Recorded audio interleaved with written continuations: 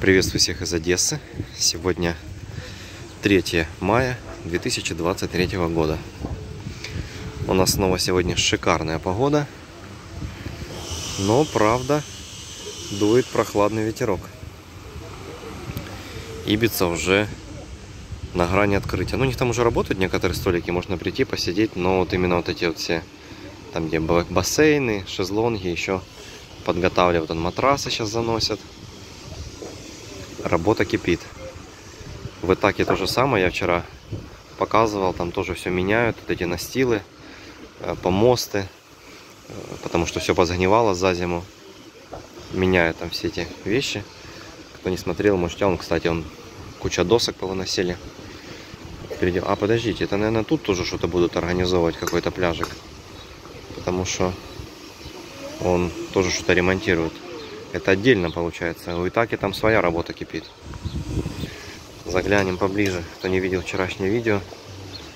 Вот, там полностью все меняет, готовятся к курортному сезону. КФС пустует, людей вообще нет, буквально сидит там 2-3 человека. Больше никого нет. Да, честно говоря, с утра Аркадия вся отдыхает. В Хинкальне вообще никого нет.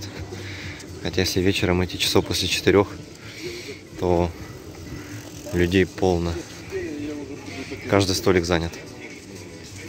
В Роберне тоже никого. Еще рано. Хотя уже время такое, знаете, время обеда. Пол второго. Пойдемте спустимся с вами к морю, посмотрим, что там. А на пляже сегодня вот такая обстановочка. Кто-то загорает уже вовсю.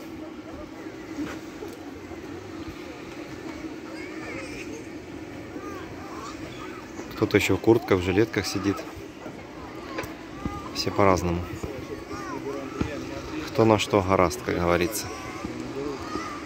Но погодка сегодня замечательная. И море очень красивое.